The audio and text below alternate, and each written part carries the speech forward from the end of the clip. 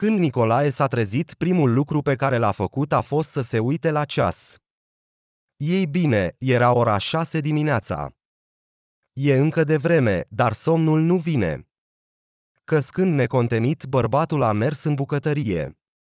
Și-a făcut ca de obicei o cafea ieftină direct în ceașcă. A stropit cu puțin lapte acolo și a tăiat sandvișuri cu cașcaval. După ce a luat fără grabă micul dejun, a început să se pregătească încet să plece la muncă. Era o dimineață normală, care nu era diferită de sute sau chiar mii de acestea. De mult timp se trezea mult mai devreme decât propriul său ceas cu alarmă. De fiecare dată când se trezea îi era teamă că situația este exact inversă. Că a adormit și nu a auzit alarma. Desigur, Nicolae avea motive pentru astfel de temeri. Ultimul lucru pe care și l-ar dori să nu piardă serviciu. Pentru că omul nu avea economii și după aceea nu va avea din ce să trăiască. Ei bine, mai sunt niște provizii suficiente de mâncare pentru a rezista până la o nouă angajare. Dar apartamentul era închiriat, deci nu va mai avea unde locui. Poate de aceea lucra de mulți ani în această firmă. Desigur că salariul nu e atât de mare. Se poate de găsit condiții mai favorabile pentru șofer. Dar important că există stabilitate. Întotdeauna sunt comenzi. Un plus este că totuși ceva vei câștiga. Și îți garantează că chiar și în absența muncii nu vei rămâne fără nimic. Însă poziția sa în companie este destul de precară din cauza fricii că va fi concediat. Șeful se pare că doar asta și așteaptă. Ca Nicolae să se poticnească pe undeva. Pentru el, bărbatul îi stă ca un nod în gât. Își dorește neapărat să scape de el doar că motive pentru aceasta nu prea găsește. Și nu din cauza că Nicolae lucrează prost. Din potrivă, el nu și-a permis ceea ce își permiteau majoritatea taximetriștilor.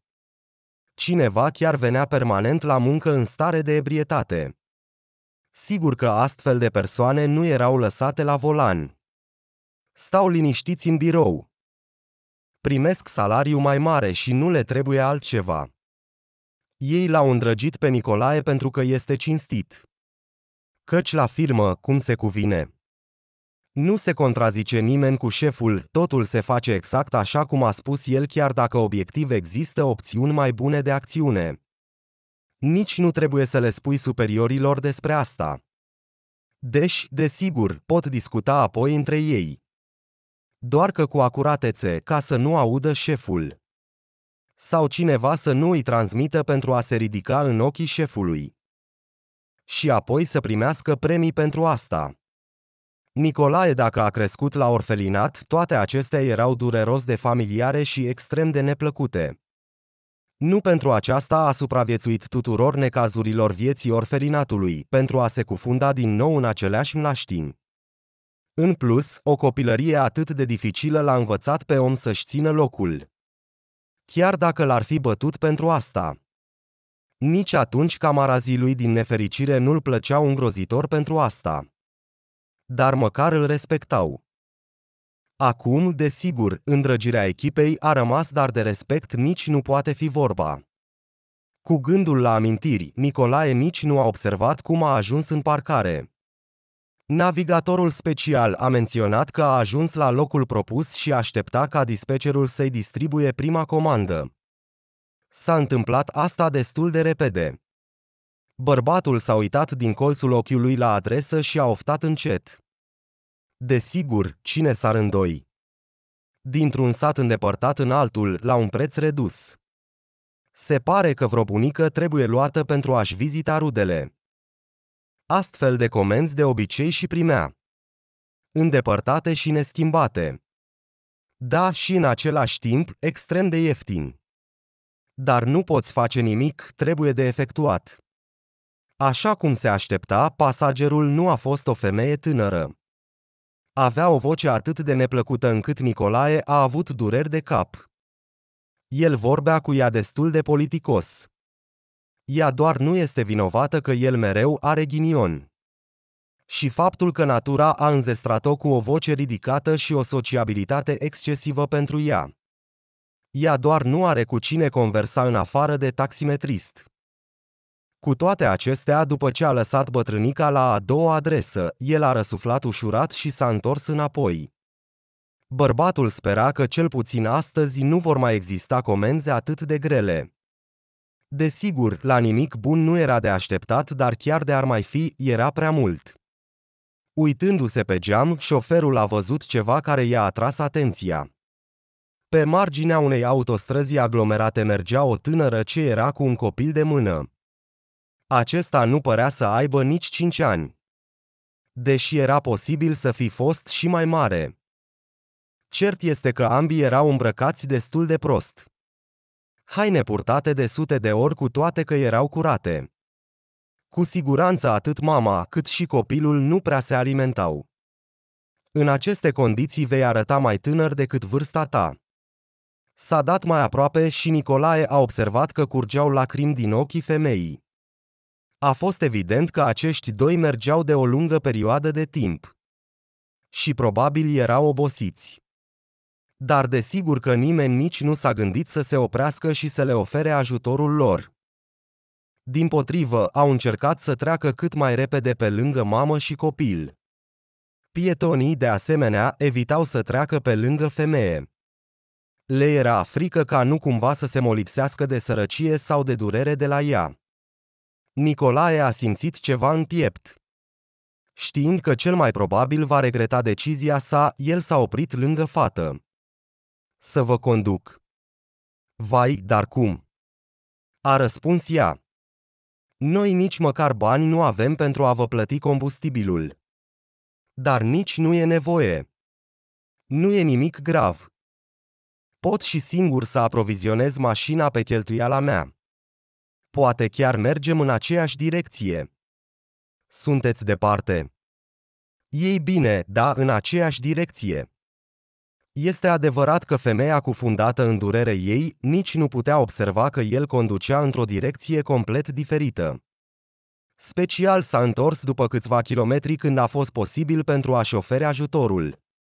Ea i-a dat adresa fiind nesigură. Cel mai probabil, în speranța că după ce o va auzi șoferul, el va renunța la ideea de a mai duce pe cineva undeva. Nicolae cunoștea acest sătuc. A fost și pe acolo. Într-adevăr, era un loc departe. Dar să mergi acolo pe jos și încă cu un copil mic, nu e o idee absolut bună. Așezați-vă! A spus el hotărât. Nu fiți timizi. Și din curiozitate a întrebat. Ce a uitat o fată într-o astfel de gaură? Răspunsul l-a descurajat. Acolo este casa bunicii mele decedate. Merg acolo pentru a supraviețui. Ce înseamnă a supraviețui? Așa spuneau de obicei doar bătrânii care nu au reușit prea multe în viață. Dar să audă asta de la o tânără și încă cu un copil a fost ceva mai presus pe înțelesul lui Nicolae. Cu toate acestea, nu a mai pus întrebări. A înțeles că în această situație nu este foarte potrivit. Epuizat băiețelul fiind la cald și liniște, aproape imediat a ațipit. Dar mama lui s-a uitat gânditoare pe fereastră tot drumul. Taximetristul nu știa la ce se gândește femeia.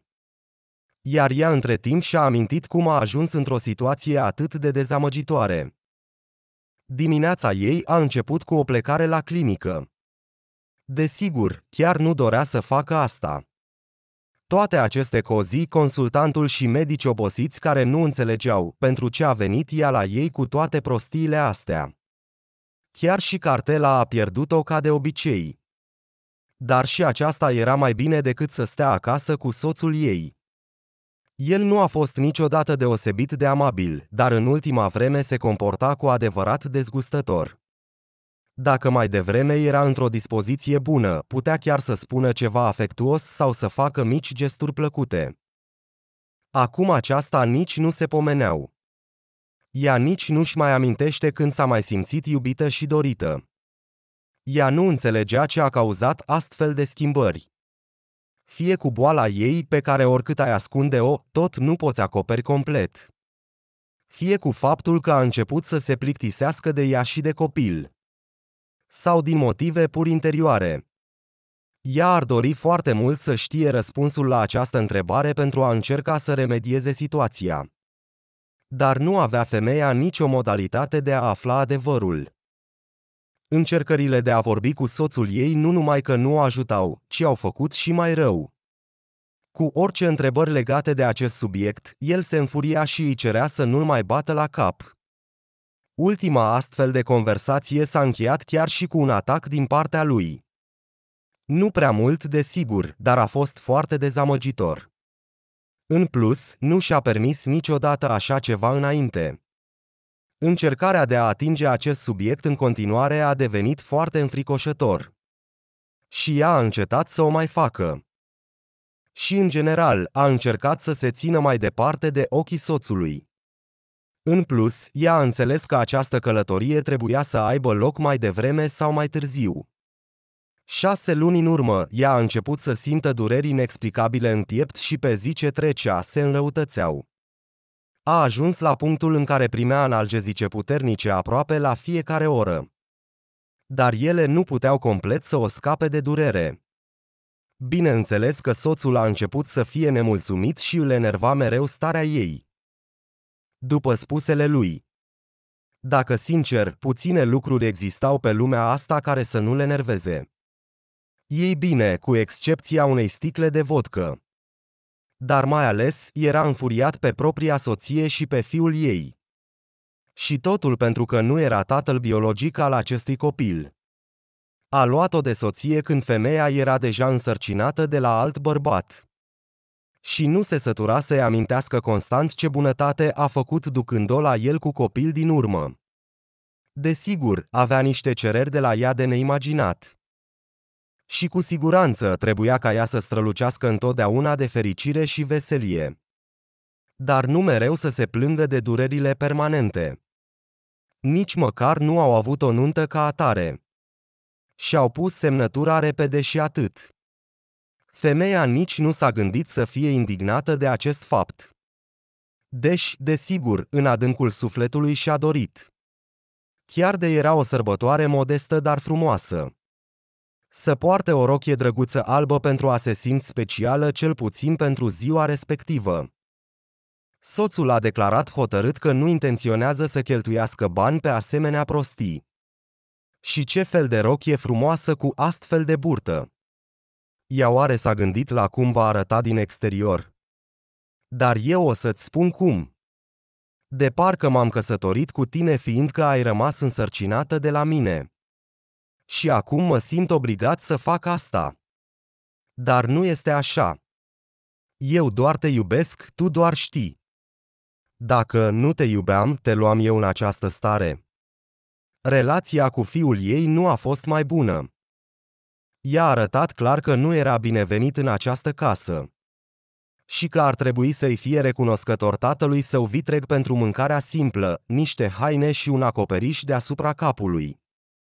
Sarcina lui principală era să-i amintească cât mai puțin de prezența lui.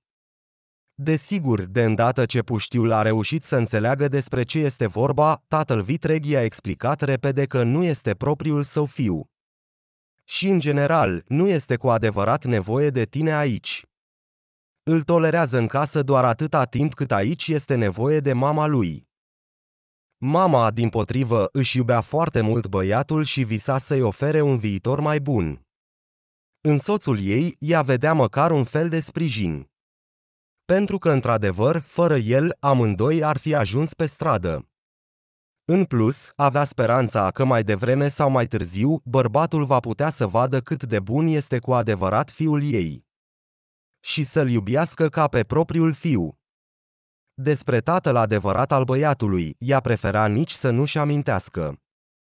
Chiar la întrebările fiului. Ea răspundea pe ocolite.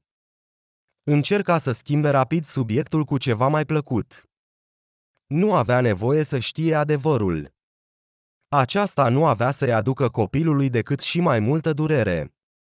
De ce a continuat să trăiască cu soțul ei în asemenea condiții? Dar unde avea să plece ea cu fiul ei? Fiindcă el, într-adevăr, a primit-o cum nu oricare ar putea face asta. În plus, părea să o iubiască. Cel puțin vorbea înainte despre asta. Dar ea însă și se obișnuise cumva cu el. Simțea o mare recunoștință. Așa s-a întâmplat că când s-au cunoscut, ea era într-o situație dificilă. În ultima lună de sarcină, ea a fost nevoită să lucreze câte 12 ore fără odihnă, ca femeie de serviciu la diferite firme. Totul pentru ca să poată închiria o oarecare cameră. Și pentru a avea ceva mâncare pentru ea și pentru viitorul copil. În una din firmele unde făcea curat, lucra și viitorul ei soț. El atunci era nici pe departe după cum este acum. Servea de sigur, ca și toți ceilalți, doar cu ocazie. Avea un loc bun de serviciu. Adevărat că mult nu s-a ținut de el după cum și la cele anterioare. Dar ea nu știa despre aceasta pe vremea aceea. Și chiar de știa puțin probabil dacă schimba ceva asta. El însuși și-a arătat simpatia față de femeie. Se interesa. De ce spală ea parchetul în starea aceasta? Ea i-a spus scurt despre trista ei istorie. După aceasta, el brusc a început să-și arate interesul lui față de ea. Îi spunea câte un compliment sau îi dăruia mici lucruri. Într-un final, a recunoscut că fata îi atrăsese deja atenția de mult timp. Dar nu a îndrăznit să se apropie de ea din cauza sarcinii. Pentru că în acel caz ar trebui să aibă și un soț. Dar dacă nu are, înseamnă că nimic nu îl împiedică să o ia de soție. Așa și a spus. Nu a cerut-o în căsătorie, dar parcă a pus-o înaintea faptului. Ar fi o prostie din partea ei să o deranjeze o asemenea atitudine. La urma urmei, el urma să-i dea măcar o șansă copilului să crească într-un mediu normal. Așa cum spera ea atunci la o familie iubitoare cu drepturi de pline. Aceste speranțe nu erau destinate să devină realitate. Dar totuși ea înțelegea cât de mult făcuse noul ei soț pentru ea și fiul ei. Și în această dimineață se pregătea să meargă la clinică. Încercând să nu-i arate soțului ei unde se duce de fapt. Ultima dată i-a reușit. Ea a făcut analizele pe care medicul i le-a recomandat. Și astăzi ar fi trebuit să primească rezultatele lor. Atunci medicul a spus clar, cel mai probabil, nu este nimic grav în starea ei. Trebuie doar să vă faceți mai puține griji. Cu toate acestea, astăzi era destul de serios. Când femeia a intrat în birou, a văzut în ochii doctorului rușine și milă. Astăzi el a fost mult mai blând și mai politicos decât ultima ei vizită. După aceste semne, ea și-a dat seama că totul era mult mai serios decât au presupus amândoi anterior. Eu nu am de gând să vă mint. A spus el în cele din urmă oftând greu. Aveți probleme foarte grave cu sistemul cardiovascular. Mai detaliat, aveți nevoie de o operație și urgent. Femeia cu greu a rezistat să nu plângă. O operație la inimă este același ca și cum te-ai elibera o lună din viață. Soțul va fi foarte nemulțumit. Pentru că nu va face nimeni toate treburile casnice. În plus, ea nu are rude apropiate. Iar mama lui nu ar fi niciodată de acord să stea cu un copil la cărui existență ar prefera să nu și-o amintească. Reiese că fiul ei va rămâne în grija lui. Totuși, după cum s-a dovedit, acesta nu era cel mai rău lucru pe care urma să-i spună medicul. Așteptând până când își va da ea seama despre cele spuse, el a continuat. Problema este că această operație o pot efectua puțin chirurgi. În orașul nostru sunt doar patru chirurgi de aceștia. Pentru a te înscrie la ei, după cum înțelegeți, sunt programați cu ani înainte. Formal, desigur, puteți face totul conform asigurării medicale obligatorii. Dar va trebui să așteptați mult, foarte mult. Dumneavoastră nu aveți timpul ăsta. Nu a fost nevoie să mai continue. Și așa este clar, dacă nu conform asigurării medicale, înseamnă contracost. Și judecând după faptul că atât de puțini medici sunt capabili să efectueze această operație, trebuie să fie foarte costisitoare. Nici ea, nici soțul ei nu au asemenea bani și nu au de unde lua. O să vă trimit la clinica unde se fac astfel de operații. A continuat între timp medicul. Deocamdată stai în rând pentru unul gratuit, s-ar putea să ai noroc. Dar te sfătuiesc să încerci totuși să găsești opțiuni. Poți lua un credit sau împrumuta de la cineva. Viața este mai scumpă decât orice bani. Ea a mers pe stradă fără să-și dea seama pe deplin unde și de ce. Practic nici nu vedea drumul. Își mișca picioarele din obișnuință. Gândurile ei erau departe. Ea înțelegea perfect că nu putea lua un împrumut. Nimeni nu i-ar fi dat, ea nu lucra și nu avea cum să-i returneze. Și soțul, chiar dacă va fi de acord, are și el puține șanse. Câștigurile nu sunt constante, neoficiale. Ei trăiesc din serviciul lui neregulat cu jumătate de normă. Să împrumute, de asemenea, nu are de la cine. Nu are nici rude și nici prieteni. Așa că mintea ei s-a îndreptat rapid către altceva. Ce rost are să te gândești de unde să obții astfel de bani dacă oricum nu ai de unde să iei? Este clar că în această situație este sortit să moară și destul de curând. Așa că ar trebui să se gândească unde își va plasa fiul, ca să nu trăiască prea rău. Dar și aici nu i-a venit în minte nimic. Aceeași situație nu are prieteni sau rude. Cel puțin cei care ar fi de acord să aibă grijă de un băiețel. Se pare că singura ei speranță este din nou la soțul ei. Care totuși, în ciuda tuturor, a acceptat-o odată pe ea și pe copilul ei în familie. Chiar și când nu era născut. Ajunsă acasă într-o asemenea stare, desigur că nu putea să nu observe soțul ei. Nu voia să-i spună despre ceea ce a aflat la clinică. Dar nu avea de ales. Cu mare atenție încerca să-și aleagă cuvintele și a explicat situația. Bineînțeles că bănuia că soțul ei nu va fi încântat de asemenea vești, dar chiar așa. A început cu un fel de furie de neînțeles. A început să-i mustre pe ea și pe fiul ei. Ea probabil nu a auzit atâtea înjurături în toată viața ei. Sensul monologului său s-a rezumat la faptul că a luat creatura ei ingrată. În plus și cu un copil. Și acum ea se gândește să moară în brațele lui. Căci să fi fost o femeie decentă ar fi trebuit să ghicească singură că cu astfel de vești nu este binevenită aici. Și să plece în liniște cu copilul undeva departe de el și să nu-l deranjeze cu poveștile ei despre cât este de bolnavă în stadiu terminal. În cele din urmă, a adăugat că a găsit deja o femeie nouă. O femeie bună, tânără, frumoasă, veselă, în plus, fără copii. Și acum ea îl expune într-o asemenea lumină de parcă ar fi decis să-și părăsească soția bolnavă. Deci despărțirea lor nu are nimic de a face cu asta. În general, i-a dat o oră să se pregătească și să părăsească apartamentul lui. Ea a reușit mult mai repede să adune lucrurile, care nu le avea prea multe. A luat copilul și niște lucruri modeste și câteva haine ale copilului. A hotărât să meargă în sat. În casa regretatei sale bunici. Bani nu avea. Așa că a fost nevoită să meargă pe jos. S-a gândit că dacă va avea noroc, vor ajunge în sat a doua zi dimineață. Dar ce să facă? Nu are altundeva unde să meargă. Și acum au câteva ore de când merg. Au ieșit din oraș și au mers pe autostradă. Apoi i-a observat șoferul care conducea în sens opus. Se pare că trebuia să meargă în oraș, dar a decis să-i ducă acasă. Este un om bun. Fie ca totul să fie bine la el ei bine, se pare că nu era.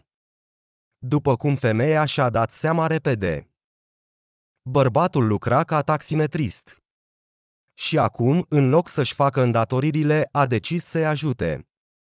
Ea spera că nu va avea prea multe probleme din cauza asta. S-a dovedit a fi destul de simplu pentru a înțelege acest lucru.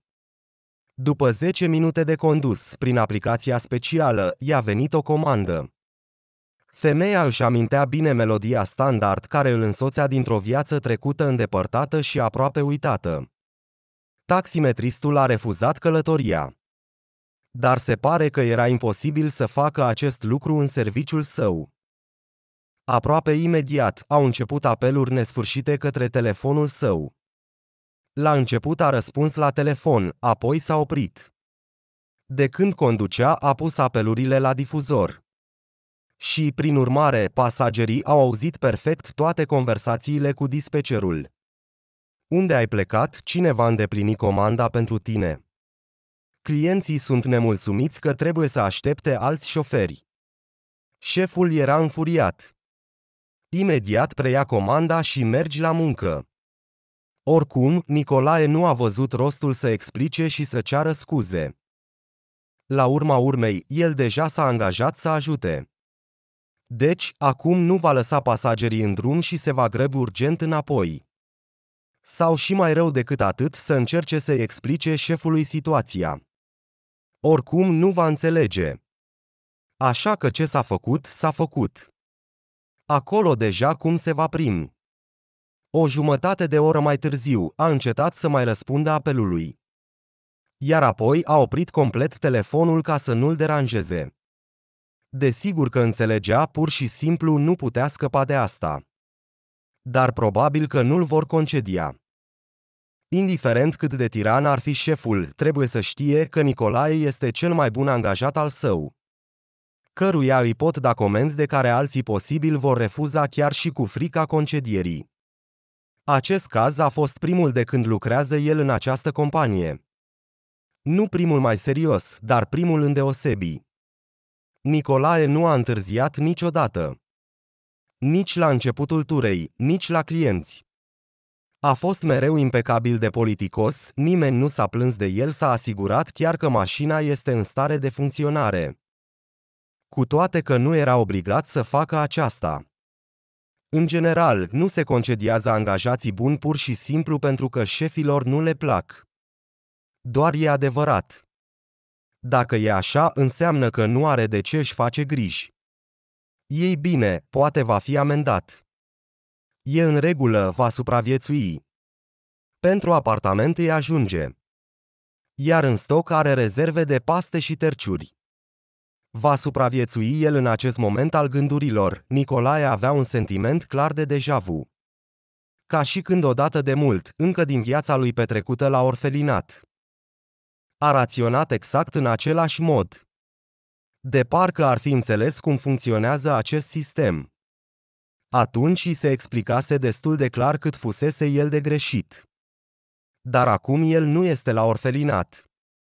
Și lucruri de genul acesta nu ar trebui să se întâmple în lumea adulților. Într-un final a ajuns la adresa indicată. Casa regretatei bunici era o priveliște extrem de deprimantă. Jumătate din gard lipsea.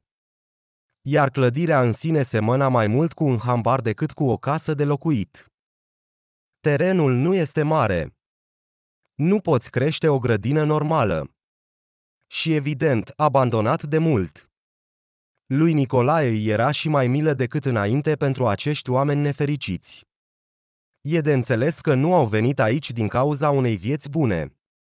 Aici cel puțin, gardul se poate de reparat. Și depus sticla unde e stricată pe alocuri. Dar chiar acum, cu siguranță nu o mai putea ajuta pe sărmana femeie. Trebuia să se întoarcă și cât mai curând posibil. Femeia și-a luat rămas bun. I-a mulțumit în mod pronunțat șoferului de taxi și și-a cerut scuze pentru că i-a creat astfel de incomoditate. El a dat din numeri.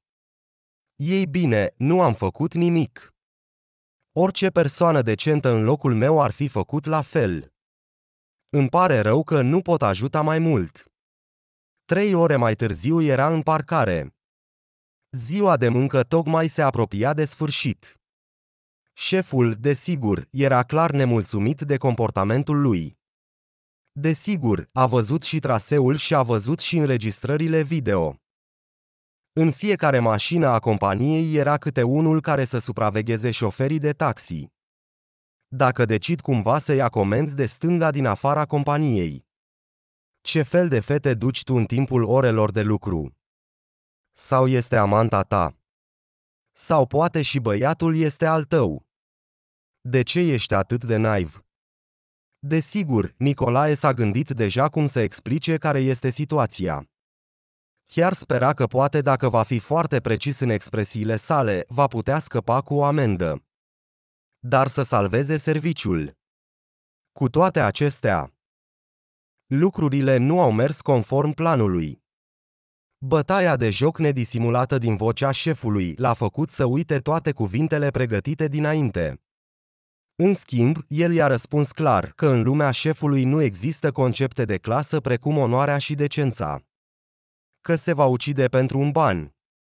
Pe lângă o persoană nevoiașă, nu doar că va trece, dar îl și va lovi ca să fie lipsit de respect. În general, multe încă câte i-a mai spus. Desigur, după aceasta, nu se putea pune problema că Nicolae va rămâne să lucreze în parcul auto. Deci, a primit amenda preconizată. L-a lipsit de întregul salariu pe această lună.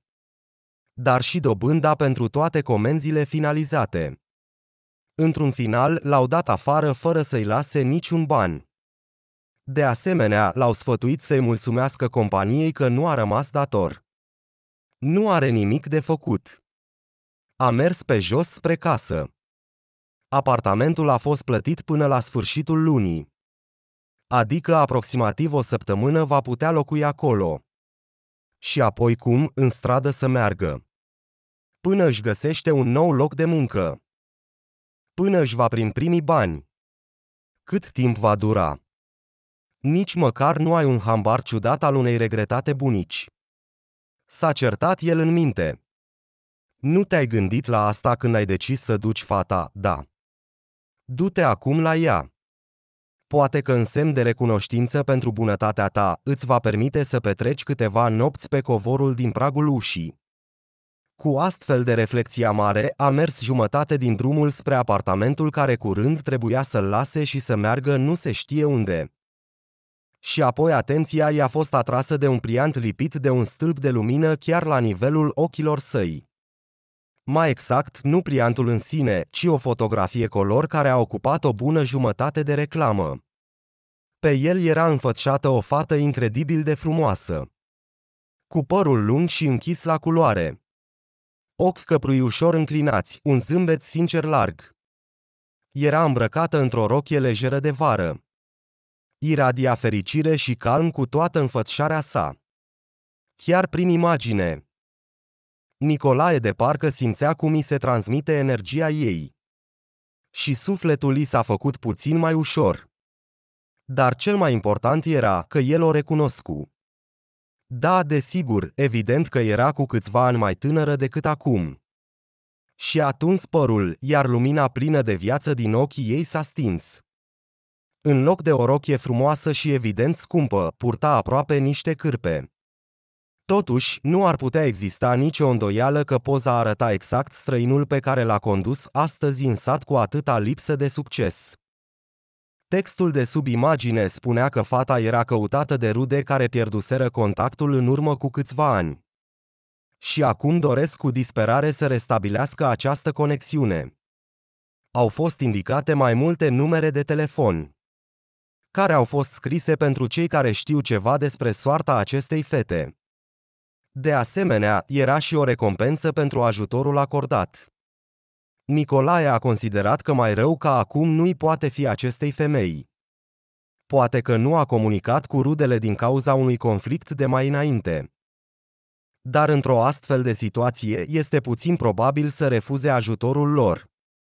În plus, l-a ademenit cuvintele despre recompensă. În situația lui, orice bani nu vor fi de prisos. Așa că și-a scos telefonul și a format unul dintre numerele de telefon. I-a răspuns o voce feminină plăcută. Bună ziua, vă sun în privința anunțului de căutare a unei fete. Da, bună ziua!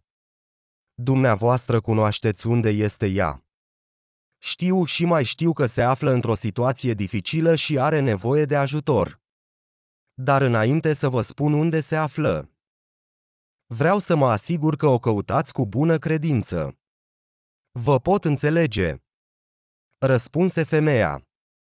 La telefon va fi o conversație de lungă durată și incomod. Veniți la noi dacă puteți, chiar acum. O să vă spun totul. Nicolae nu avea unde să se grăbească. Așa că, fără să se gândească mult, a plecat la adresa numită. Din fericire, nu era departe. Drumul l-a condus într-o zonă destul de prestigioasă a orașului. Existau case private în care locuiau locatarii înstăriți. Trebuie să spun că această stare de lucruri l-a surprins foarte mult pe bărbat. El a sunat la ușa casei potrivite. I-au deschis aproape imediat. O femeie nu chiar tânără, de parcă aștepta în prag toată acea jumătate de oră până a ajuns el aici. L-a invitat politicos în casă și i-a oferit un ceai. Nicolae nu a refuzat. Li s-au alăturat la masă un bărbat la fel în vârstă. Evident, proprietarul casei. Pe de o parte, povestirea lor l-a surprins pe Nicolae. Dar, pe de altă parte, i s-a părut destul de tipică și plauzibilă. A arătat să nu arate un oarecare dispreț față de gazdele care nu au tratat-o pe nefericita fată în cel mai bun mod. Și s-au răzgândit abia acum. Când o mare durere au în propriile lor vieți. Și totul a fost așa, au avut un fiu care a decedat recent în circunstanțe tragice. Singurul copil mult așteptat și foarte iubit. Prin urmare, îl protejau foarte mult chiar și după ce a devenit adult.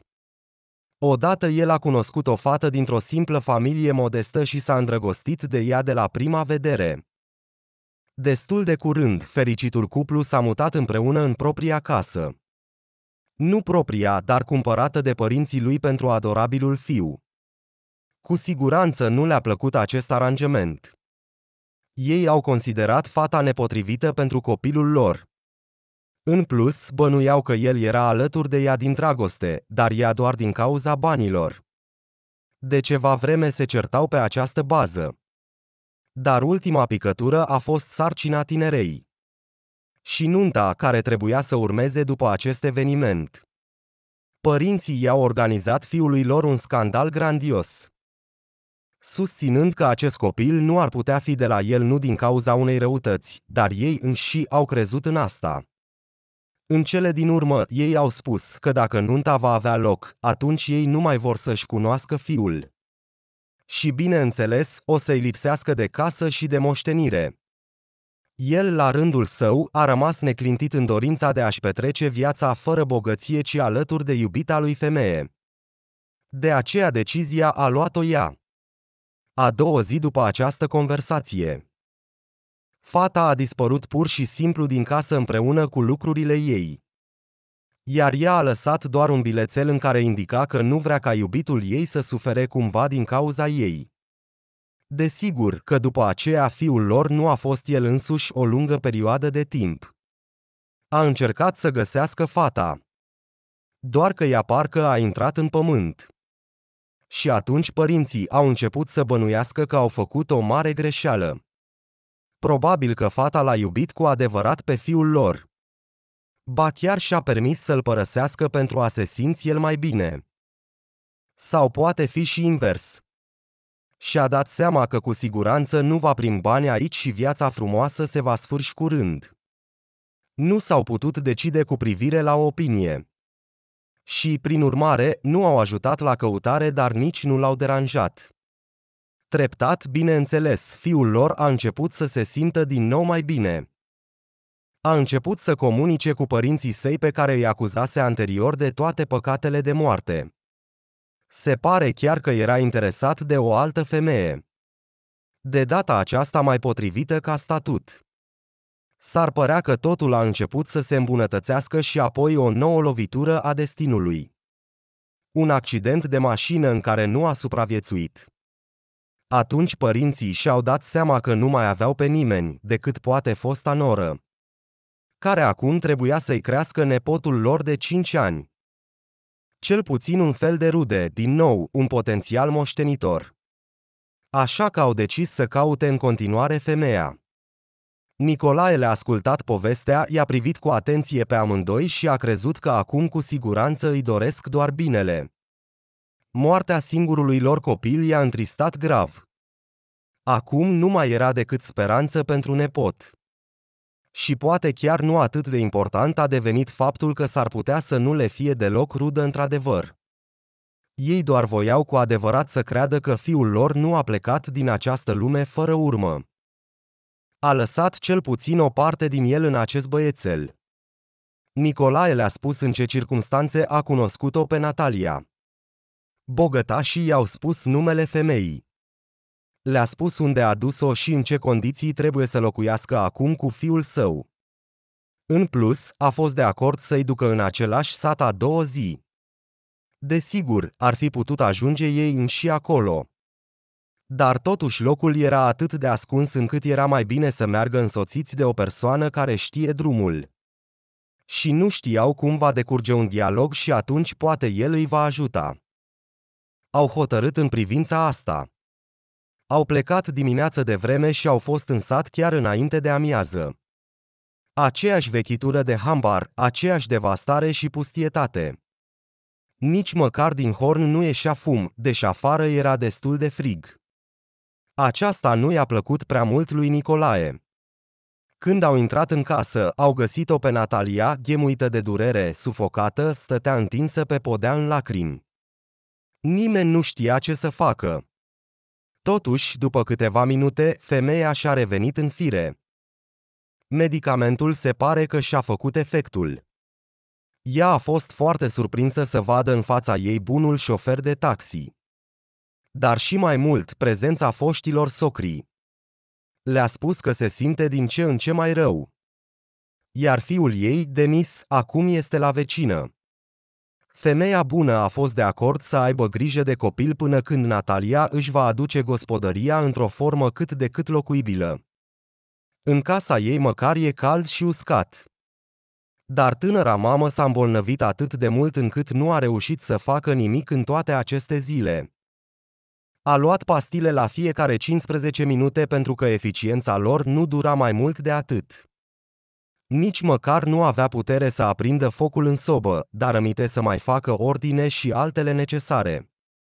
Foarte repede l-au luat pe Denis de la vecină și l-au dus cu mama lui în oraș. Imediat au mers la clinica unde a fost trimisă atunci pentru operație. Au fost nevoiți să plătească chiar mai mult decât era planificat inițial, ca medicul să o ducă la operație, nu doar prima, dar chiar acum. După cum li s-a spus puțin mai târziu, încă o oră sau două de așteptare și nu aveau cum să o salveze. Din cauza faptului că termenul era atât de lung, operația a fost mult mai grea decât ar putea fi. Chirurgul și-a îndeplinit cu succes sarcina, doar că pacientul a pierdut prea mult sânge în timpul operației. Și acum avea nevoie urgent de o transfuzie. Desigur, se putea aplica la banca de sânge, dar timpul iarăși lucra împotriva lor. Deci chiar la fața locului. Au trecut testele de compatibilitate. Și a socrilor și testele de sânge ale lui Nicolae pentru orice eventualitate. Dacă unuia dintre ei era potrivit pentru transfuzia lui Natalia, deci va fi posibil să economisească câteva ore. Rezultatele au fost gata în câteva minute. Sângele dumneavoastră, din păcate, nu este potrivit. A spus medicul cuplului în vârstă. Dar fiul dumneavoastră, după cum s-a dovedit, poate deveni donator, după cum am înțeles, a soției lui. Eu nu sunt fiul lor. A răspuns Nicolae. Dar nici Natalia nu îmi este soție. Cu toate acestea, nu contează. Dacă sângele meu se potrivește, sunt de acord. Dumneavoastră, bineînțeles, iartă-mă. A spus doctorul. Dar judecând după analiză, sunteți rudă cu ambele persoane. Și destul de aproape. Această revelație, desigur, a șocat pe toți cei prezenți. Dar în acest moment nu au avut timp să se gândească și să afle. Nicolae a fost dus urgent la donatorul de probe de sânge pentru Natalia. Transfuzia a avut succes și viața femeii nu mai era în pericol. Atunci a venit timpul să afle ce însemnau cuvintele doctorului. Cuplul în vârstă a comandat un test ADN într-o clinică privată. Și rezultatele au fost șocante. Nicolae era într-adevăr fiul acestor oameni. Nu putea exista nicio îndoială. Desigur, ca toți copiii de la orfelinat, a visat mereu să-și găsească adevărații părinți. Dar cu siguranță nu și-ar fi putut imagina că acest lucru se va întâmpla în circunstanțe atât de ciudate. Dar seamănă cu Alexandru al nostru. A observat tatăl. Eu doar acum am acordat atenție. Uite și tu, Maria. Același nas și forma sprâncenelor sunt asemănătoare. Într-adevăr. A răspuns femeia. Cum s-a întâmplat că mi-ați lăsat? A întrebat Nicolae. Mama și tatăl s-au uitat unul la altul. Se părea că încercau să scoată ceva neplăcut din memorie. Pe care mulți ani au încercat să ascundă chiar și de ei înși. Tăcerea a durat câteva minute lungi și tensionate. Nicolae nu putea înțelege ce simțea acum. Pe de o parte, aici sunt părinții și încă și bogați. S-ar părea că se poate visa doar la așa ceva. Pe de altă parte, nu prea îi plăceau oamenii de acest tip, care de regulă se consideră superior tuturor celor din jurul lor. Doar pe motiv că au câteva valori materiale mai multe decât toți ceilalți. Da, în plus, cum s-a întâmplat ca o familie atât de bogată să-și dea copilul la un orfelinat? De ce îl displăceau atât de mult acești oameni? Amintiri neașteptate inundau de o strălucire neașteptată. Nicolae a crezut că a reușit să părăsească în trecut toate aceste evenimente traumatizante. După cum s-a dovedit, a greșit. A fost nevoie doar să-și împingă puțin memoria în această direcție și a simțit că cade într-o fântână adâncă întunecată, din care cu greu ar fi putut să iasă fără ajutorul din afară. Prima amintire este cea mai strălucită. Se referea la vârsta de patru ani. Atunci petrecuse deja destul de mult timp la orfelinat. Dar bineînțeles că cu greu putea fi păstrat în memorie și de data aceea trebuia să întâlnească tipi noi cu care acum trebuia să împartă o cameră. Aproape toată lumea de aici era cu câțiva ani mai mari decât el nu știa cu ce are legătură, dar bănuia că nu ar trebui să fie așa. Locul lui este lângă aceiași copii mici ca și el, oare nu e așa? Și unui copil de patru ani, toți acești băieți se păreau deja aproape adulți. Deci cel mai mare dintre ei nu avea nici măcar 14 ani. Bineînțeles că avea dreptate. Ceea ce nu știa era că orfelinatul pur și simplu nu își permitea să separe copiii în diferite grupe de vârstă. Puțin bani, puțin spațiu. De aceea și erau doar două grupe. Condiționat pentru mai mari și pentru juniori. Modul exact în care sunt repartizați copiii depindea în mare măsură de situația actuală. Da, nopțile s-au dovedit a fi poate cele mai groznice din viața lui. Copiii sunt cruzi, iar cei din orfelinat sunt dublu. Micul Nicolae a fost scos dintr-un pat prea mare pentru el. L-au târât într-un dulap înghesuit, cu spălător și perii. L-au închis acolo pentru toată noaptea. Nu s-ar părea nimic deosebit, i s-au întâmplat lucruri mai rele dar acest episod a fost întipărit de băiat pentru tot restul vieții. Era întuneric, înfundat și foarte, foarte înfricoșător. Gândacii mergeau pe pereți, care copilului îi se păreau niște monștri îngrozitori. L-au lăsat afară doar dimineața. Când au venit îngrijitorii și nu au găsit unul din băieți. Dar care a fost cel mai rău lucru, l-au pedepsit pentru acest incident, chiar pe el nimănui nu-i păsa din ce motiv era închis într-un dulap tehnic.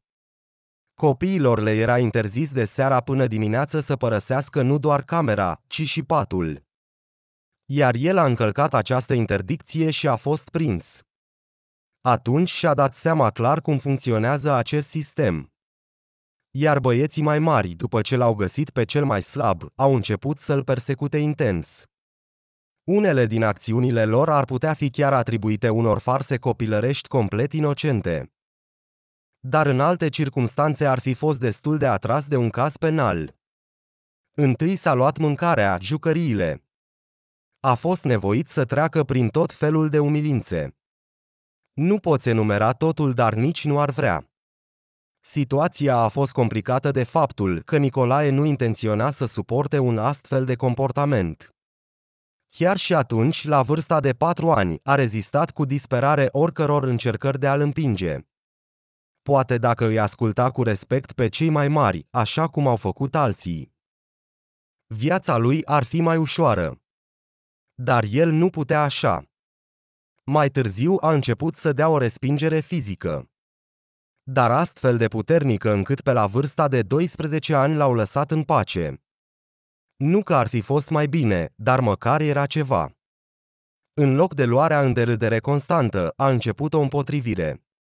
Care a durat până la ieșirea lui din orfelinat. Literal, niciunul dintre copii nu i-a spus niciun cuvânt. De parcă ar fi încetat să mai existe. Dacă unul dintre nou veniți a încercat să înceapă un dialog cu el, îi arăta rapid și ferm că acest lucru nu merita făcut. În cele din urmă, această tăcere dureroasă, însoțită de amintiri tulburătoare, a fost întreruptă de noua mamă a lui Nicolae. Ea a spus, Noi niciodată nu te-am părăsit, fiule. Și a povestit toată istoria în întregime. Nicolae s-a născut în luna cea mai rece și grea a anului, în februarie. Iar în acel an, iarna s-a dovedit a fi extrem de severă. Au fost înghețuri puternice. Lecțiile la școli au fost anulate și unora chiar le-a dat voie să nu meargă la muncă. Orașul lor nu a văzut vreme atât de rece de mulți ani. Și prin urmare nu erau pregătiți pentru el serviciile municipale nu au putut face față blocajelor de zăpadă de pe drumuri. S-au produs în mod constant diverse tipuri de accidente. Cumva, până și trenul a ieșit de pe șine din cauza la prea multă gheață. Femeia pe atunci încă tânără stătea cu copilul nou născut în maternitate. Pentru a doua oară în februarie a apărut viscolul. A auzit un urlet teribil al vântului în afara ferestrei. Geamul tremura și toți cei din secție le era frică să nu-i doboare viscolul.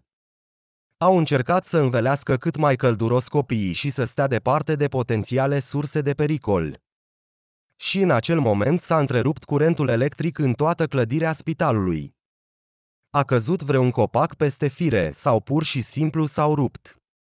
Oricum, incapabil să reziste la asemenea condiții meteorologice. În timp ce toată lumea se agita și încerca să înțeleagă ce se întâmplă. Copilul Mariei dispăruse. Bineînțeles, l-au căutat și singur și cu implicarea poliției, dar totul a fost în zadar se presupunea că țiganii l-au furat. Poate au mituit pe cineva din personalul medical. Astfel de cazuri nu erau neobișnuite la acea vreme. Cu bebelușii furați își construiau o afacere foarte profitabilă. Cerșetorii care stau cu un copil în brațe sunt geliți și li se dau mai mult. Soarta unor astfel de copii nu este de obicei de invidiat. Pentru răpitori ei sunt doar aducători de bani. Ca să stea în liniște, erau adesea serviți cu alcool. Și chiar cu preparate ilegale. Este clar că în astfel de condiții supraviețuiesc maxim câteva luni. Cu toate acestea, căutarea lui Nicolae a încetat abia un an mai târziu. Părinții nu și-au pierdut speranța de a-și găsi fiul și de a-l găsi în viață. Dar acest lucru nu putea continua la infinit. Ca urmare, au fost nevoiți să se împace cu faptul că nu și-ar mai vedea băiatul niciodată. Și apoi Maria a rămas însărcinată din nou.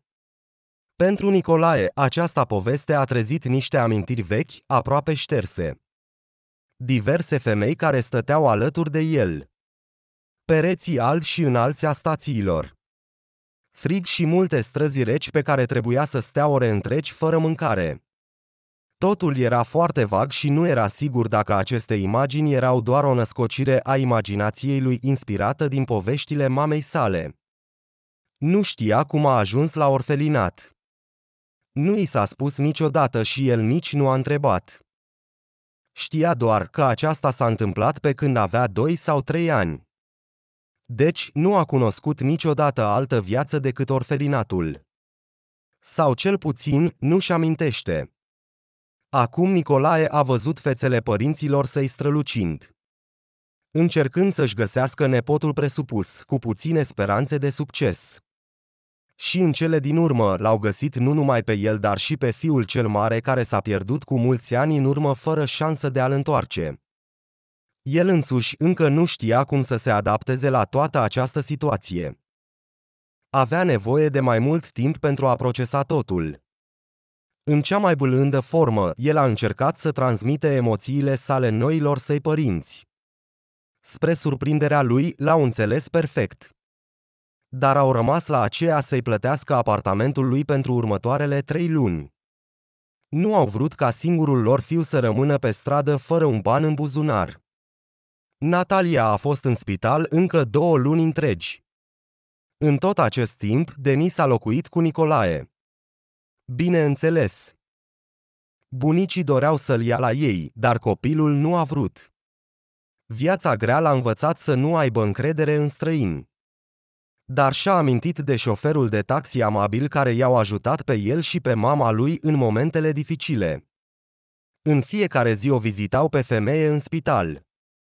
Aduceai tot felul de bunătăți permise, în mare parte fructe. Odată, Nicolae a decis să cumpere un buchet de flori, de care Natalia a fost foarte bucuroasă. Părinții lui veneau și ei periodic la femeie. Așa cum bănuia fostul taximetrist, veneau pentru a-l vedea și pe el cu toate acestea, au început să o trateze pe Natalia mult mai călduros. Și au cerut scuze pentru neîncredere și pentru faptul că viața ei s-a aranjat într-un mod atât de tragic deși aceasta nu a fost vina lor directă. Ei au simțit totuși că o parte din responsabilitatea pentru acest lucru le revine. Desigur că i-a iertat. Nu era în firea ei să fie supărată pe oameni multă vreme. După externare, au închiriat un apartament bun pentru Natalia și Denis, nu departe de cabana lor. Vizita unuia cu celălalt a devenit o întâmplare neobișnuită. De asemenea, Nicolae s-a alăturat periodic la adunările de familie. Treptat, el a început să se obișnuiască cu părinții săi. Dându-și seama că este nedrept cu ei. Cunoscându-i mai bine, și-a dat seama că oamenii sunt buni. La fel ca toți ceilalți, au făcut și greșeli. Spre deosebire de mulți alții, ei știu să-și recunoască greșelile și recunoscând, au făcut tot posibilul să le repare. De-a lungul timpului, Nicolae a început să le spună ceva despre viața lui și despre orfelinat și despre munca ulterioară. Șeful care nu l-a plăcut și despre cum a fost concediat în cele din urmă când a decis să o ajute pe Natalia în timpul orelor de lucru. Înainte de asta, a menționat doar pe scurt că și-a pierdut locul de muncă și acum își caută unul nou. Dar știi ce? A spus tatăl său după ce a ascultat povestea despre parcul auto. De ce nu cumperi tu acest loc și faci ceva normal din el?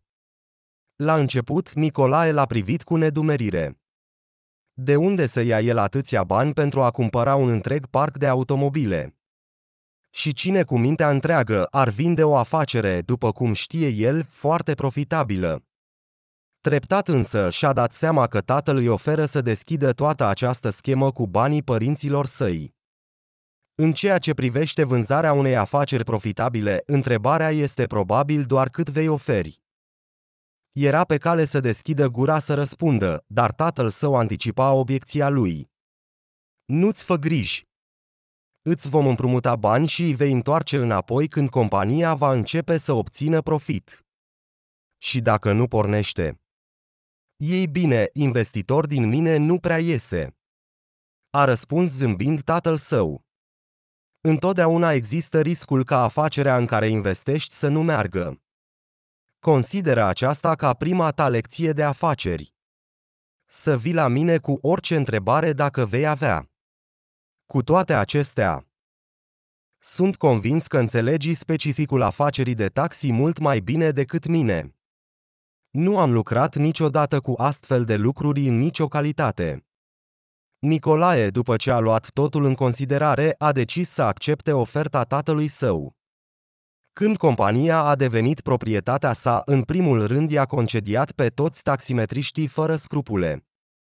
Aceiași care veneau la muncă să stea serviți pe o bancă și să plece apoi acasă. Apoi a venit rândul șefului.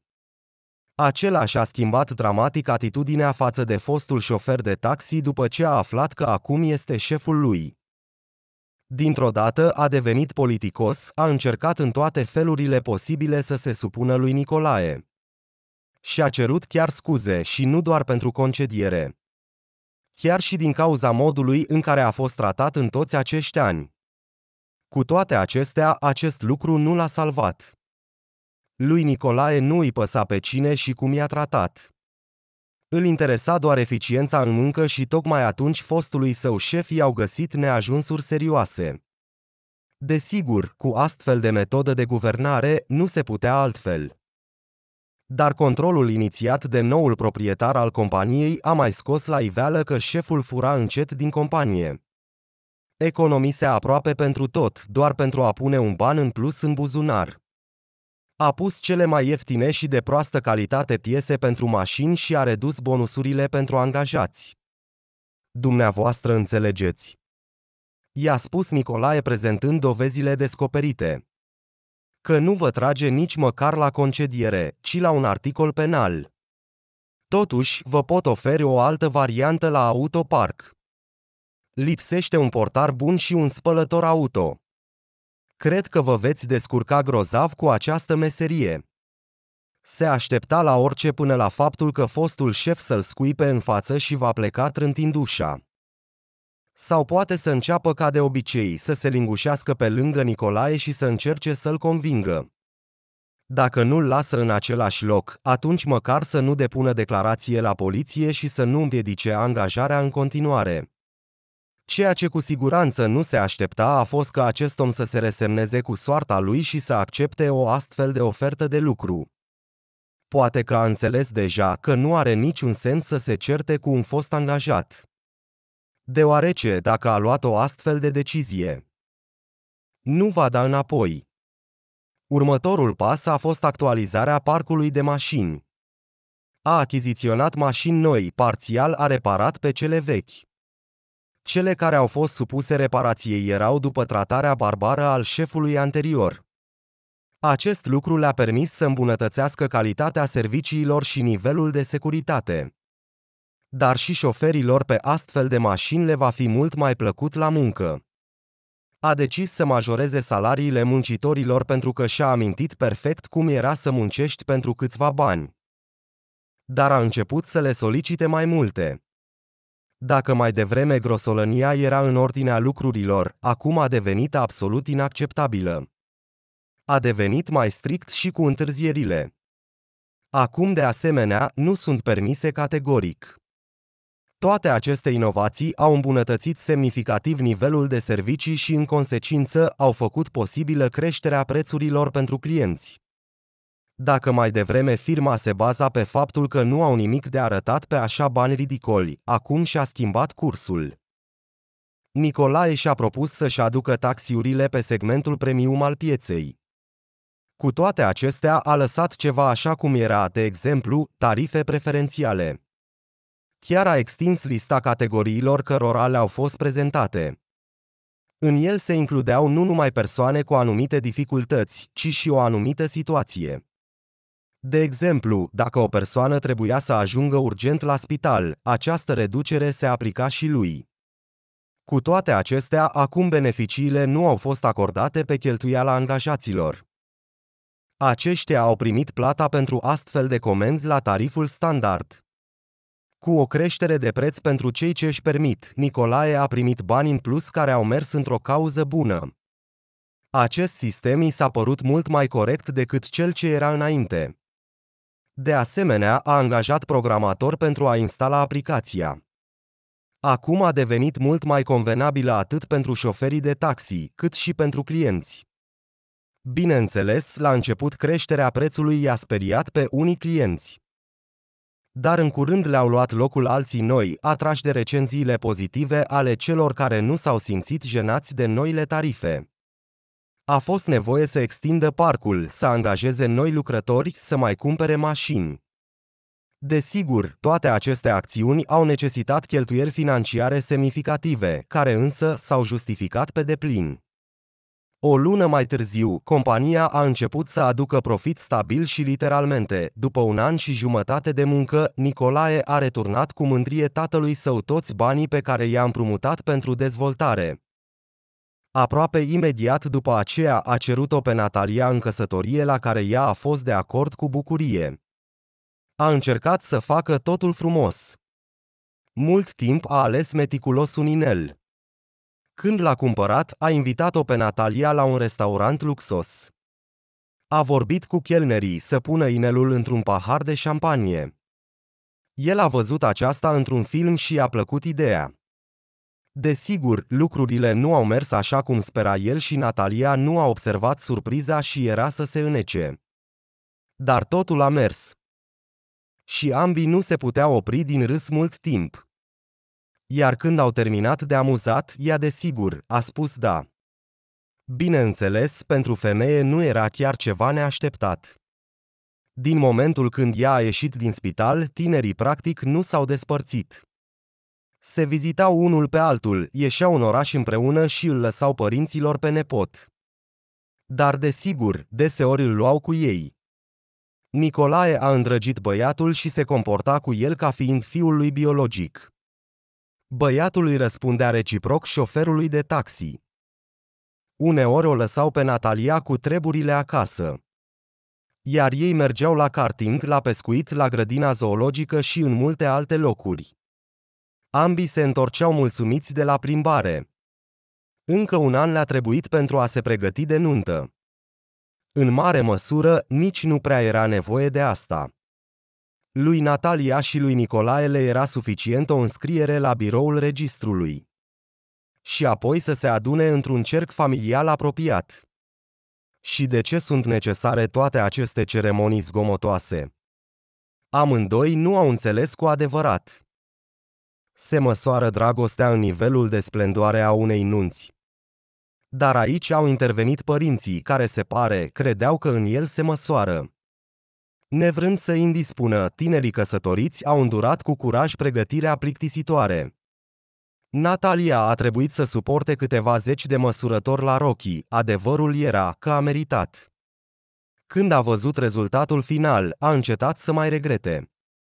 Nu albă, dar de o culoare bej deschis, cu o croială sofisticată, dar elegantă, se așeza perfect pe silueta ei.